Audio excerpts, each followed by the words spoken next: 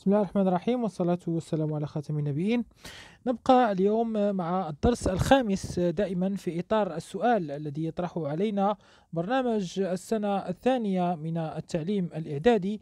ماذا توفر لنا الطبيعة؟ توفر لنا الطبيعة مناخا مناخا متنوع الخصائص. إذا توفر لنا مناخا متنوع الخصائص.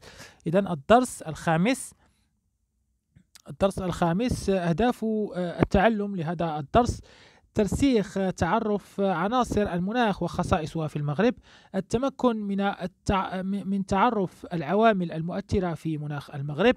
تمييز أنواع المناخ بالمغرب. الاشتغال بدعامات متنوعة.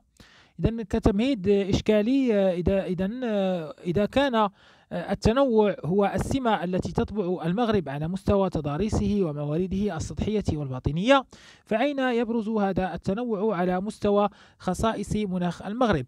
وما العوامل المؤثرة في مناخ المغرب؟ وما أنواع المناخ بالمغرب؟ إذا هذا كتمهيد إشكالي ودائما أقول بأن هذه التساؤلات ليس المطلوب الإجابة عنها الإجابة المباشرة عنها وإنما هي تساؤلات تمهيدية للدرس والدرس ككل يعني عن طريق المقاطع التعلمية. سوف يمكننا من الإجابة سيمكنكم أعزائي التلاميذ من الإجابة على هذا السؤال عن هذه الأسئلة وتثبيتها وترسيخها في أذهانكم لأن هذا هو يعني هذا هو المطلوب من هذا من هذه الدروس ومن هذه العمليات التعلمية. إذا المقطع التعلمي الأول أرسخ معرفتي بعناصر المناخ وخصائصها في المغرب. النشاط واحد أتعرف الحرارة وخصائصها في المغرب. ألاحظ الجدول وأقرأ معطياته ثم أحدد موضوع الجدول. إذا الجدول موضوعه هو جدول خاص بمتوسط الحرارة في بعض المدن المغربية ما بين سنة 1960 و 1961 إذا المرصد مرصد إفران متوسط حرارة يناير هو 3.2 درجة متوسط حرارة يوليوز 20 ونصف درجة. آه، طنجة متوسط حرارة يناير في طنجة 12 ونصف درجة متوسط حرارة يوليوز 23 ونصف درجة. فاس متوسطها 8.45 درجة. ومتوسط حرارة يوليوز 22.9 درجة. العيون متوسطها 16 درجة في يناير. وبالنسبة ليوليوز فمتوسطها 26 درجة. إذا كما تلاحظون عندما نقول شهر يناير فماذا المقصود؟ شهر يناير يعني هو ذروة فصل الشتاء. شهر يناير هو ذروة فصل الشتاء. وعندما نقول شهر يوليوز شهر يوليوز هو ذروة فصل الصيف. يعني من الشهور شهور الصيف بالمغرب ويناير هو من شهور فصل الشتاء بالمغرب. إذا أقارن متوسط حرارة شهري يناير ويوليوز بالمراصد المذكورة في الجدول.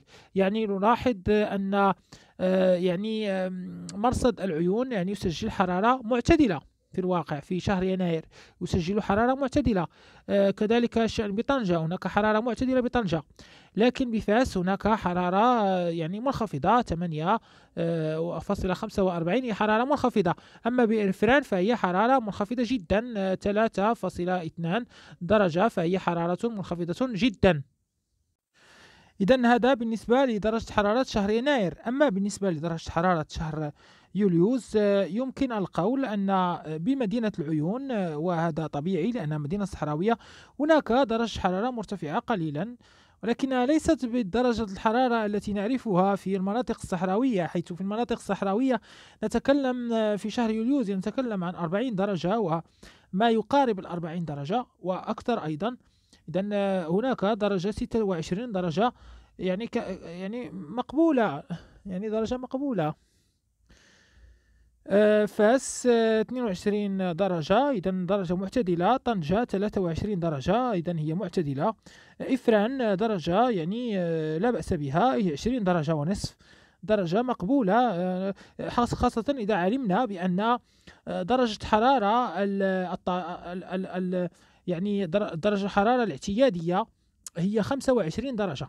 هي 25 درجة هي درجة الحرارة الاعتيادية التي بإمكان الإنسان أن ينشط فيها بكل آه، بكل حيوية وبدون مشاكل آه، آه، مرتبطة بالحرارة.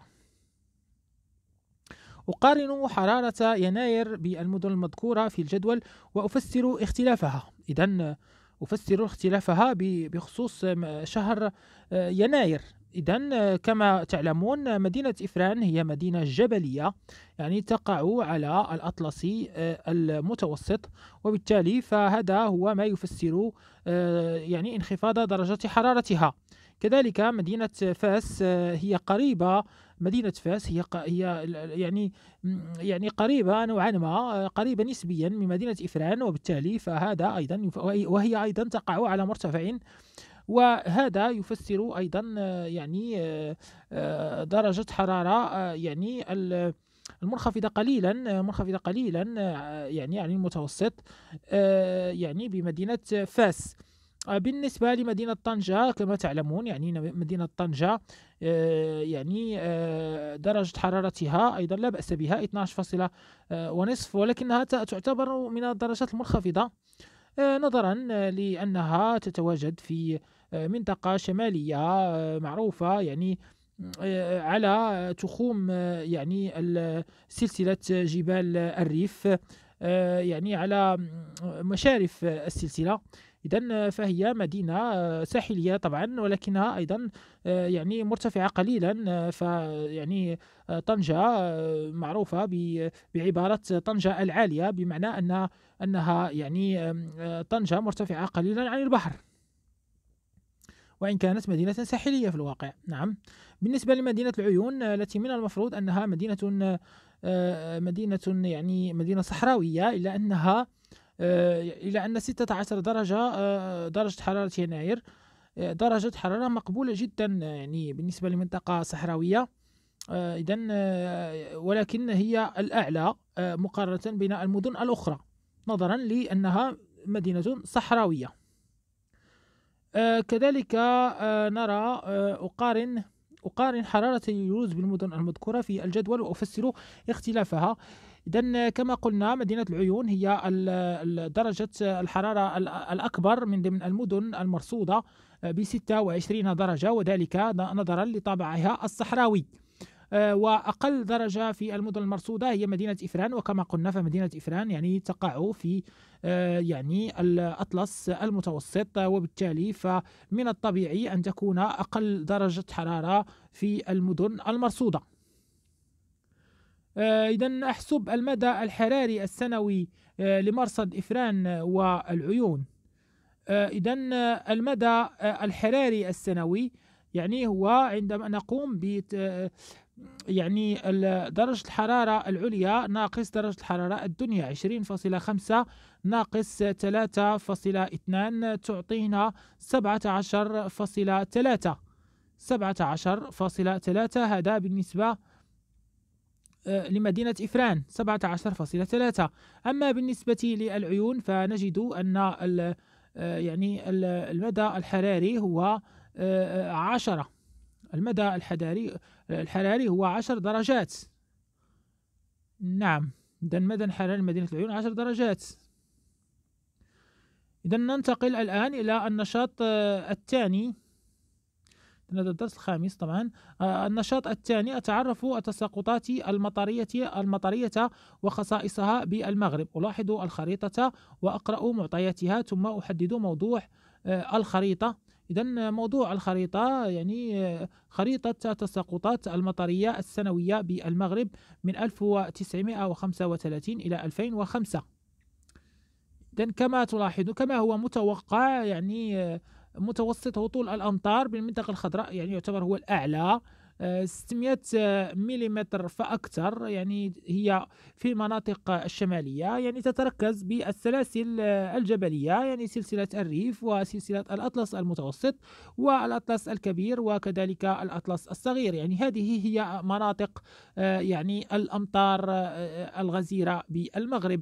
والمط... يعني المناطق أقل من 100 مليلتر فواضح أنها مناطق صحراوية وبالفعل فهي فهذه المناطق هي تتموقع بالصحراء المغربية الجنوبية والصحراء المغربية الشرقية يعني الجنوبي الشرقية الصحراء الشرقية الجنوب الشرقي. أصف توزيع الأمطار يعني هذا ما قمت به لقد وصفت الآن توزيع الأمطار.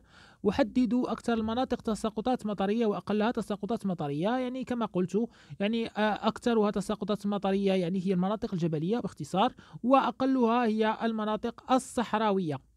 أحدد كمية التساقطات في جهتي اعتمادا على الخريطة اثنان. إذا كل واحد فيكم يرى جهته ويحدد المنا يعني التساقطات كمية التساقطات في جهته. آه، بالنسبة لي أنا شخصيا فأنا أتواجد بجهة مدينة الدار البيضاء. إذا هي باللون البرتقالي وبالتالي فإن آه، تساقطات هي من 200 آه، مليلتر إلى 400 مليلتر سنويا. هذا بخصوص يعني التساقطات المطرية بجهتي. يعني بإمكانكم تحديد الجهة التي تنتمون إليها إما الجهة الشرقية أو جهة يعني هناك مجموعة من هناك 12 جهة اليوم المغرب فيه 12 جهة. بإمكانكم تحديد جهتكم أو منطقتكم بالضبط ويعني تحديد رؤية يعني التساقطات المطرية بجهتكم. أحدد كمية يعني هذا ما قمنا به. إذا نذهب إلى النشاط الثالث أتعرف الضغط الجوي وخصائصه في المغرب. ثالثا خرائط الضغط الجوي بالمغرب. ألف الضغط الجوي المرتفع في فصل الشتاء ثم الضغط الجوي المنخفض الصحراوي في فصل الصيف. آه، وقد رأينا هذه هذه الأمور في مادة آه، في الفصل الأول لو شابيترو 1 لو شابيترو 1 من مادة الفيزياء والكيمياء. آه، رأينا مسألة الضغوط الجوية كذلك لإيزوباغ ما, ما يسمى بإيزوباغ. يعني خطوط يعني متساوية الضغط خطوط متساوية الضغط أو لإيزوباغ. رأينا ذلك في مادة الفيزياء والكيمياء. آه، يعني آه، بإمكانكم الرجوع لها فهي موجودة في يعني في ال Play Store يعني في موجودة في القناة يعني ابحثوا عنها سوف تجدونها باللغة الفرنسية. وهي مترجمة باللغة العربية. ألاحظ الخريطتين وأقرأ معطياتهما. إذا الخريطة ألف كما تلاحظون. خريطة ألف يعني تبين لنا أن هناك آه، يعني آه، مرتفعا جويا في إسبانيا وفي منطقة الجزائر والمغرب. آه، هناك مرتفع جوي مرتفع جوي. وانتي سيكلون يعني رمز له بأ. وهناك منخفض جوي بمنطقة الأصور منخفض جوي بمنطقة الأصور وأيضا بالمنطقة الصحراوية. بالمنطقة يعني منطقة المحيط الأطلسي. إذا على ما يدل هذا يدل على انتقال الرياح من منطقة مرتفعة الضغط إلى المنطقة منخفضة الضغط التي تحصل بها اضطرابات جوية. إذا هذه كانت الخريطة ألف والخريطة باء. يعني أيضا الخريطة باء توضح لنا يعني حصول يعني منطقة ارتفاع الضغط الجوي يعني آه، في المناطق آه، في وسط المحيط الأطلسي ومنطقة انخفاض الضغط الجوي ب يعني الصحراء الجزائرية كما تلاحظون هنا. يعني وبالتالي فهذا ماذا يعني؟ يعني أن يعني أن الرياح سوف تنتقل من المنطقة A إلى المنطقة D آه إذا أحدد أحدد موضوع الخريطة. أستخلص تعلماتي السابقة المرتبطة بالمناخ ثم أضف أصف وضعية الضغط الجوي في الخريطة 3 ألف. إذا الخريطة 3 ألف تبين لنا أن آه، يعني آه، يعني المنطقة دي سوف تتعرض لاضطرابات جوية كبيرة آه، وهذا في فصل الشتاء. فصل الصيف آه، يعني كذلك المنطقة دي آه، سوف تتعرض أيضا ل آه، يعني لاضطراب جوي كذلك. وهناك تنقل لمناطق الاضطرابات الجوية. منطقة الاضطراب لا تظل في نفس المنطقة وإنما هناك تحرك لهذه المناطق الاضطرابات. إذا أركب تعلماتي أستعين بالخريطة التساقطات لأحدد معدلات التساقطات السنوية بالمراصد المذكورة في الجدول رقم واحد.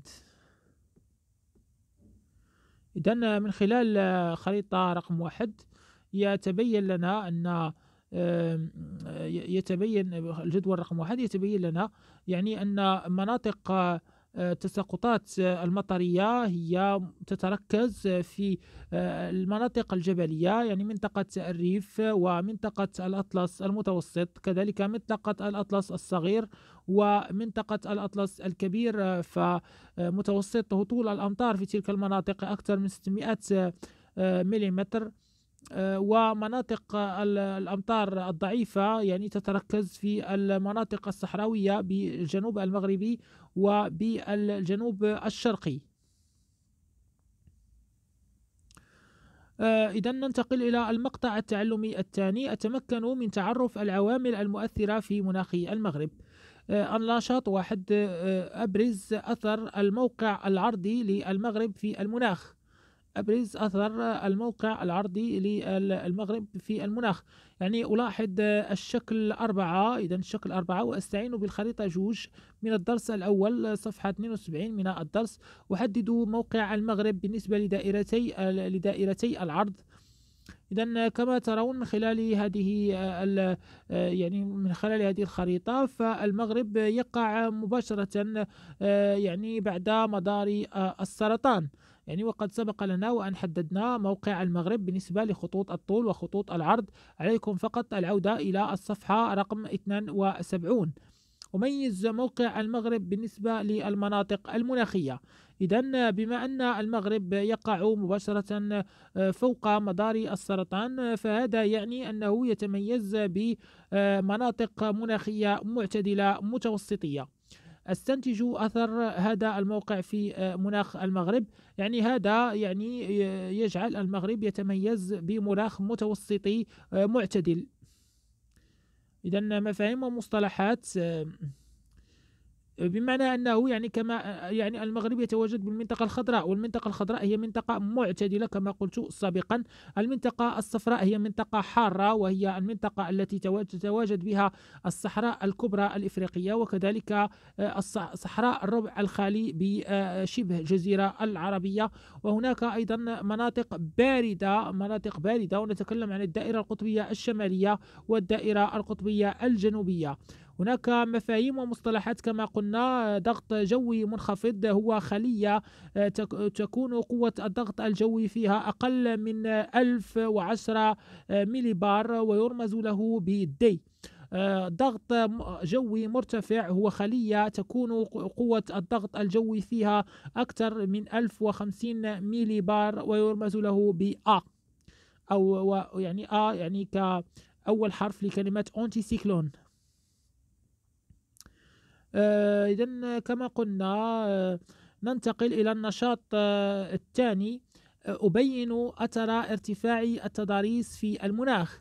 أقرأ معطيات الجدول ثم أحدد موضوع الجدول. إذا الجدول الخمسة جدول متوسط الحرارة ومعدل التساقطات بفران ومكناس. ما بين 1961 و 1990 المرصد مرصد إفران. إذا مرصد إفران الارتفاع الذي يقع عليه إفران هو 1664 متوسط السنوي للحرارة 10 درجات فاصلة 8 المعدل السنوي للإمطار هو 1498 ملم آه، كذلك هناك مرصد مكناس الارتفاع 548 آه، آه، متر. المتوسط السنوي للحرارة 17.17 درجة.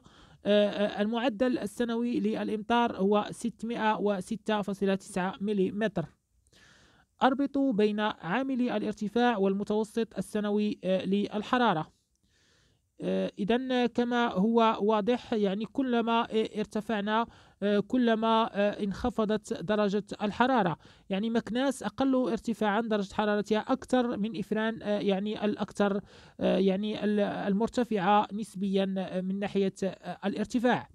وكما قلنا يرجع هذا إلى سبب تواجد إفران في منطقة يعني الأطلس المتوسط. أربط بين عامل الارتفاعات ومعدل التساقطات السنوي بمدينة إفران ومكناس.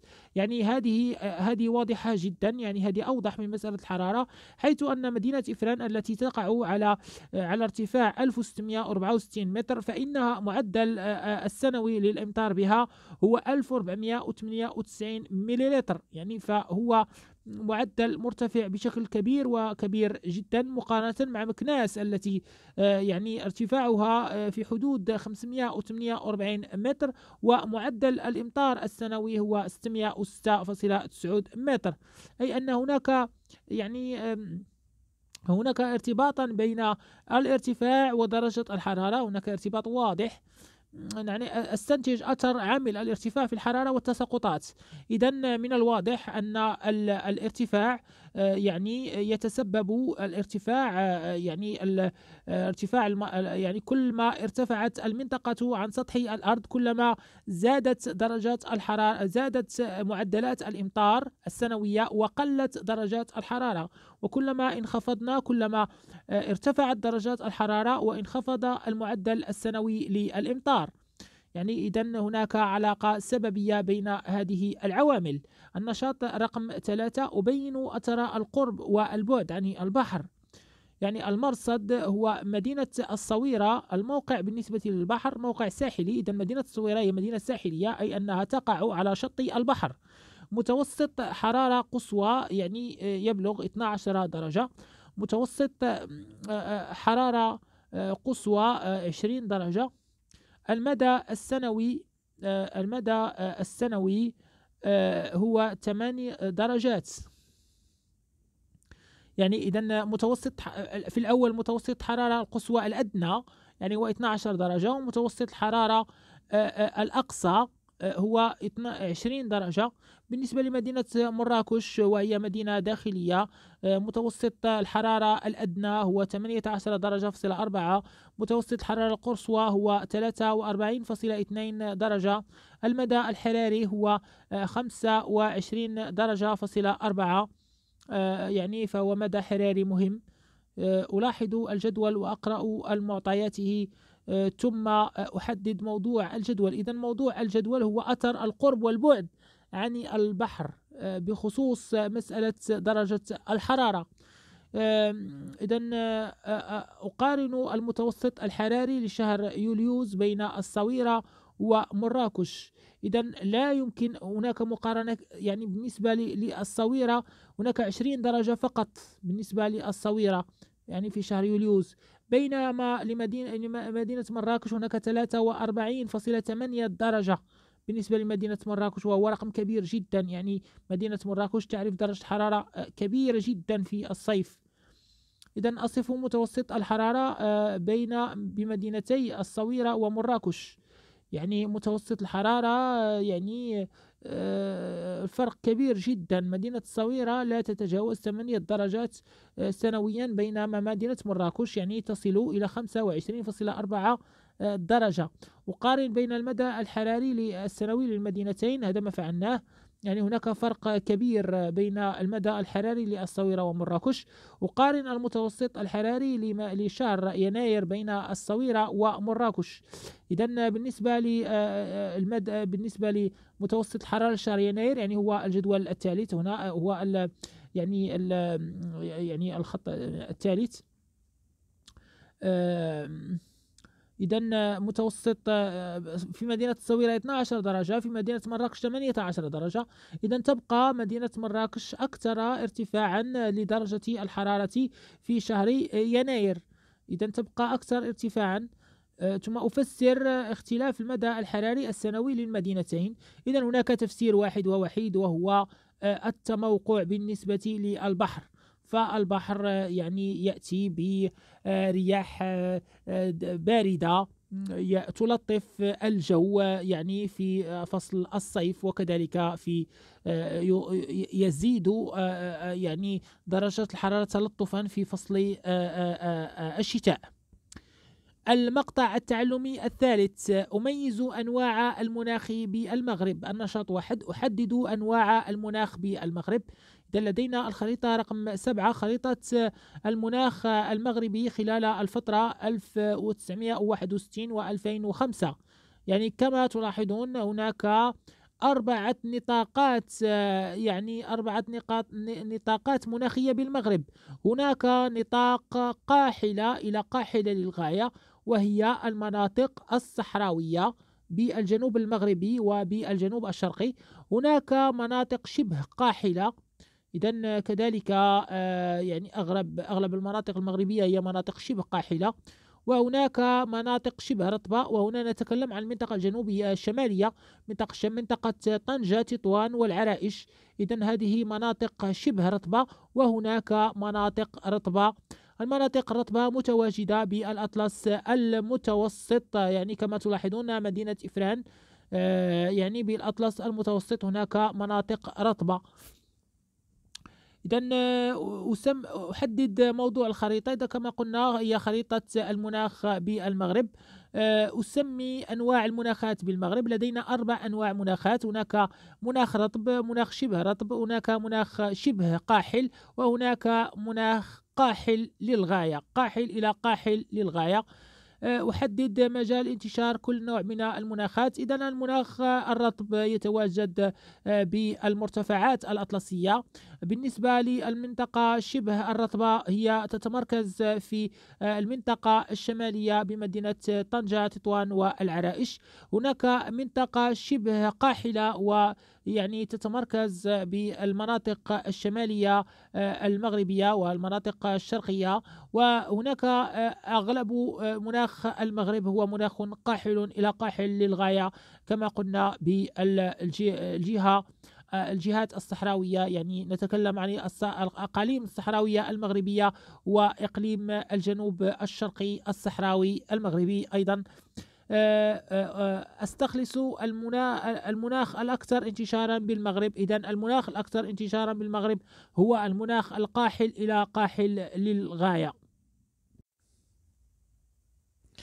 ننتقل إلى مفاهيم ومصطلحات لدينا مفهوم جديد هو مؤشر آه، آه، مارتون. مؤشر مارتون هو مؤشر يمكن من تحديد درجة قحولة منطقة ما منطقة ما. ولحسابه نتبع الصيغة التالية يعني A يساوي P على T زائد 10 بحيث إن P هي مجموع التساقطات السنوية و T متوسط الحرارة السنوية. النشاط الثاني أميز خصائص المناخ المتوسطي إذا ألاحظ المبيانين وأقارن معطياتهما ثم أحدد موضوع كل مبيان. إذا مبيانات توزيع الحرارة والتساقطات في مدينة الرباط وفاس ما بين سنة 1961 إلى 1990 إذا المتوسط في هذه السنوات لدينا مدينة الرباط آه، درجة الحرارة في كما تلاحظون ودرجة الأمطار على اليمين ودرجة الحرارة على اليسار. آه، ولدينا الأشهر هنا الأشهر. كما هو ملاحظ يعني الأشهر المطيرة هي شهر ديسمبر دجنبر نوفمبر فبراير مارس أيضا أكتوبر شهر مطير. الأشهر الغير مطيرة التي يقل فيها الأمطار وترتفع فيها درجة الحرارة هي شهر آه، يعني يوليوز ويوليو وأوت وسبتمبر. آه كذلك بالنسبة لمدينة فاس بالنسبة لمدينة فاس نلاحظ أنه أيضا نفس الشيء. هناك أشهر آه، يوليوز ويوليو وأوت وسبتمبر هي الأقل مطرا. هذه الأشهر هي الأقل مطرا والأكثر حرارة وأكثر درجة حرارة في هذه آه، الأشهر. باقي الأشهر يعني تعرف تساقطات مطرية متفاوتة ودرجات حرارة أيضا آه، يعني متقاربة. إذا هذا ما نلاحظه في هذا الخصوص. أميز أكثر الشهور حرارة في المدينتين. إذا أكثر شهور حرارة في المدينتين كما قلنا هي هو شهر آه، آه، يعني يوليوز آه، ابتداء من شهر ماي إلى شهر يوليو ويوليوز وغشت وسبتمبر يعني هذه هي الأشهر الأكثر حرارة. نفس الشيء بالنسبة لمدينة فاس يعني نفس الشيء تقريبا نفس الشيء. أذكر أقل شهور حرارة في المدينتين.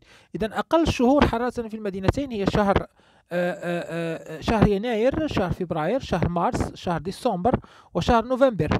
يعني نفس الشيء بالنسبة للمدينة الأخرى مدينة فاس وأيضا مدينة الرباط. يعني هي الأشهر الأقل حرارة في المدينتين.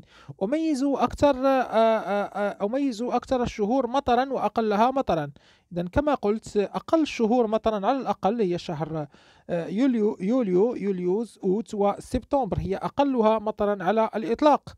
كذلك نفس الشيء يعني بالنسبة للمدينتين. يعني الأمر متساوي بالنسبة للمدينتين من حيث قلة تساقط الأمطار. أما أكثرها تساقطا للأمطار فيعني واضح تماما بالنسبة لمدينة الرباط. هناك شهر ديسمبر نوفمبر أكتوبر. الأمطار تبتدئ ابتداء من شهر أكتوبر يعني وتصل إلى ذروتها في شهر دجنبر وكذلك يعني تقل بعض الشيء في شهر يناير لكنها تستمر ثم شهر فبراير ومارس أيضا تستمر فيها الأمطار. نفس الشيء تقريبا بالنسبة لمدينة فاس. نلاحظ مدينة فاس أن الأمطار تبتدئ أيضا في شهر أكتوبر يعني تصل آه، آه، ترتفع إلى في شهر نوفمبر ثم ديسمبر لتصل إلى ذروتها في شهر فبراير. يعني ثم يعني تبدأ تقل تدريجيا آه، في شهر مارس وشهر أبريل لكنها تستمر بنفس يعني الحدة. إذا ننتقل إلى النشاط الثالث. أميز خصائص المناخ الصحراوي. ألاحظ المبيانين وأقرأ معطياتهما ثم أحدد موضوع كل مبيان. إذا ميبيانا توزيع الحرارة والتساقطات بمدينة العيو بمدينتي العيون وورزازات. إذا ألاحظ مدينة العيون ومدينة ورزازات. إذا مدينة العيون كما نلاحظ تتميز بالنسبة لدرجة الحرارة. هناك نوع من الاستقرار مع ارتفاع في شهر أوت وسبتمبر لكن هناك استقرار لدرجة الحرارة. كذلك هناك تساقطات مطرية لا بأس بها في شهر يناير وفبراير ومارس كذلك في شهر نوفمبر وديسمبر. أما بالنسبة لمدينة ورزازات ف يعني الأمطار ضعيفة في في طيلة السنة تقريبا. بعض التساقطات في مدينة شهر فبراير وأكتوبر لكنها تساقطات ضعيفة جدا. ودرجة الحرارة أيضا يعني درجة حرارة مرتفعة دائما بالأخص في شهر آه، يعني آه، يناير ويوليو وأوت آه، يعني يبلغ ذروة درجة الحرارة تبلغ في في شهر يوليوز. هناك ذروة لدرجة الحرارة بمدينة ورزازات. إذا أصف منحنيي الحرارة في المبيانين. إذا بالنسبة لمدينة العيون هناك استقرار في درجة الحرارة يعني حوالي يعني ما بين 20 درجة إلى إلى 30 درجة. يعني هناك استقرار في درجة الحرارة لمدينة العيون. بينما لمدينة ورزازات هناك يعني الحرارة يعني أقل حرارة نجدها في مدينة العيون هي 18 حوالي 18 درجة في شهر. في شهر يناير في شهر يناير يعني أقل درجة حرارة آه، لكن آه، هذه درجة الحرارة ترتفع بشكل تدريجي إلى أن تصل إلى ذروتها في شهر أوت آه، حوالي 40 درجة ثم تنزل يعني إلى هناك تذبذب يعني هناك يعني تذبذب في درجة الحرارة بالنسبة لمدينة ورزازات لكنها على العموم تظل مرتفعة مرتفعة. أصف وضعية التساقطات المطرية في المبيانين. إذا بالنسبة لوضعية التساقطات المطرية في المبيانين بالنسبة لمدينة العيون هناك فعلا تساقطات مطرية. إذا فصل الشتاء بالنسبة لمدينة العيون هو فصل ممطر. هناك تساقطات مهمة تصل إلى ثلاثة وإلى ثلاثة وثلاثين تصل إلى حدود 12 ملم يعني في شهر في شهر يناير وأيضا هناك آه، في شهر آه، تصل إلى 15 ملم في شهر دجنبر كذلك هناك تساقطات لا بأس بها في شهر نوفمبر وأكتوبر وفبراير ومارس.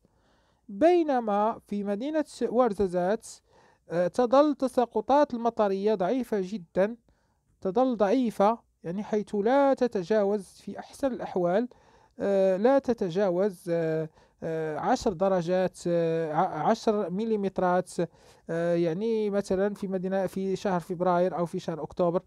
يعني هناك درجة هناك يعني تساقطات مطرية بسيطة بسيطة جدا إلى منعدمة في مدينة ورزازات أفسر اختلاف الحرارة بين مدينتي العيون وورزازات إذا هناك مفارقة غريبة. مدينة العيون ومدينة ورزازات كلاهما مدينتين صحراويتين.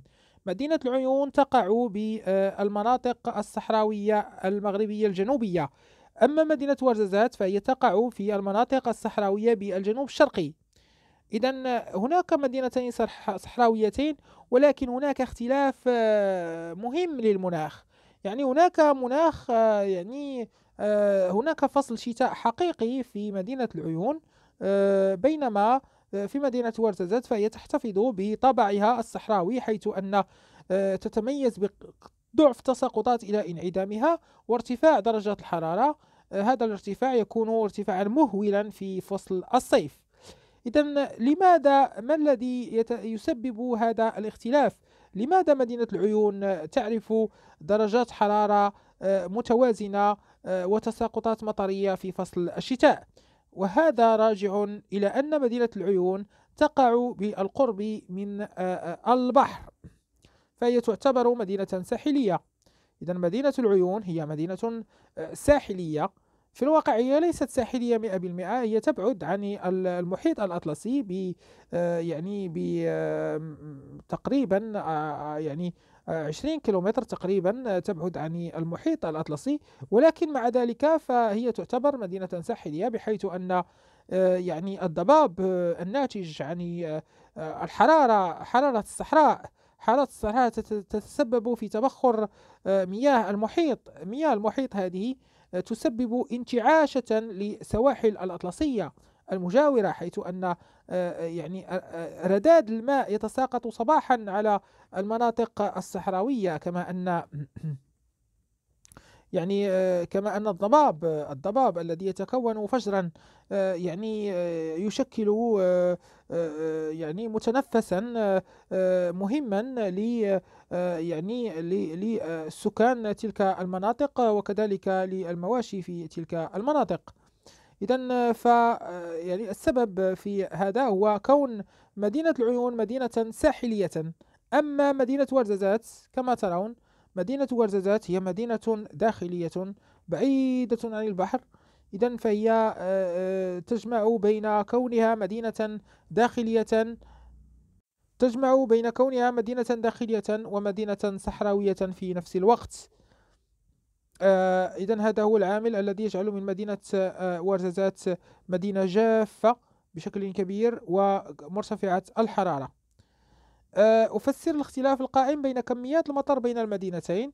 إذا آه، كميات المطر آه، كما قلت سابقا فهي راجعة إلى تواجد العيون آه، ب يعني على الساحل الأطلسي مما يمكنها من الحصول على يعني على كميات لا بأس بها من الأمطار يعني القادمة من من المحيط القادم الذي يكون سببها المرتفع الجوي ب يعني وسط المحيط. النشاط أربعة أحدد النطاقات المناخية بالمغرب. ألاحظ الجدول وأقرأ معطياته ثم أحدد موضوع الجدول. إذا موضوع الجدول هو جدول توزيع النطاقات المناخية بالمغرب. كما قلنا سابقا يعني النطاقات المناخية هي هذه الرطب وشبه الرطب وشبه قاحل والقاحل إلى الأكثر قحولة إذا المساحة بالكيلومتر. نطاق رطب وشبه رطب يعني تقريبا آه، خمسين ألف كيلومتر مربع. النسبة من المساحة الإجمالية 7.04% ثم لدينا نطاق شبه جاف ويعني مساحته مئة ألف كيلومتر. المساحة الإجمالية يعني 14.08% ثم لدينا نطاق جاف وصحراوي مساحته تقريبا 560 ألف كيلومتر. يعني مساحته 48.88% طبعا المجموع 710 ألف كيلومتر يعني وهي مساحة المغرب. آه و آه, آه، يعني بنسبة 100% كما كما هو واضح. إذا يعني أستخرج النطاقات المناخية الموجودة في المغرب. هي أربع نطاقات نطاق رطب ونطاق شبه رطب نطاق شبه جاف ونطاق جاف وصحراوي. أقارن النطاقات المناخية من حيث المساحة. يعني تظل النطاق الرطب وشبه الرطب يظل نطاق محدود من ناحية المساحة ويسيطر على آه، يعني آه، جميع آه، المناطق المغربية النطاق شبه الجاف والجاف والصحراوي. إذا أستخلص نوع المناخ السائد إذا نوع المناخ السائد هو مناخ جاف وصحراوي. أركب تعليماتي. أستخلص خصائص المناخ آه، المتوسط والمناخ الصحراوي من حيث درجات الحرارة. إذا المناخ المتوسطي يتميز بدرجات حرارة متوسطة آه، وارتفاع للتساقطات لنسبة التساقطات. أما بالنسبة للمناخ الصحراوي فيتميز بارتفاع مفرط في درجات الحرارة وانعدام للتساقطات أو شبه انعدام للتساقطات. آه، تقويم التعلم أصف درجات الحرارة في مختلف المدن الداخلية صيفا وأعلل جوابي. إذا كما قلنا بالنسبة للمدن الداخلية فبالنسبة للمدن الداخلية الصحراوية فدرجة الحرارة فيها تكون مرتفعة جدا. لكن المدن الداخلية المرتفعة نسبيا أو التي تقع على آه، سلسلة جبلية مثل آه، سلسلة جبال آه، الأطلس المتوسط أو الأطلس الكبير فإنها يعني تعرف درجات حرارة معتدلة نظرا لارتفاعها عن سطح البحر. أفسر أهمية أهمية التساقطات في مناطق الشمال. يعني مناطق يمكننا تفسير أهمية التساقطات في مناطق الشمال لكونها قريبة من السواحل وأيضا لكون أنها تقع على مرتفعات آه، جبال آه، الريف. آه، كذلك فهي تقع بالقرب من المرتفع مرتفع الضغط الجوي القريب الأوروبي القريب من أوروبا أو الأوروبي. أكتب فقرة عن نوع المناخ السائد بجهتي وأثره في الغطاء النباتي. يعني بالنسبة لنا في مدينة دار البيضاء فالمناخ السائد هو المناخ شبه القاحل وهذا المناخ شبه القاحل ولكن نحن في مدينة الدار البيضاء نحن مدينة ساحلية. إذا الساحل المحيط الأطلسي أيضا يعني يساهم في تلطيف الجو في هذه المنطقة ويساهم في يعني ارتفاع التساقطات وبالتالي يعني تكون غطاء نباتي مهم. بل إننا يعني نعتبر من المناطق الفلاحية المنتجة بالمغرب. إذا أشكركم على حسن تتبعكم واستماعكم ونلتقي في الدرس المقبل إن شاء الله آه، وهو التدرب على رسم وقراءة المبيانات المناخية. شكرا على حسن تتبعكم.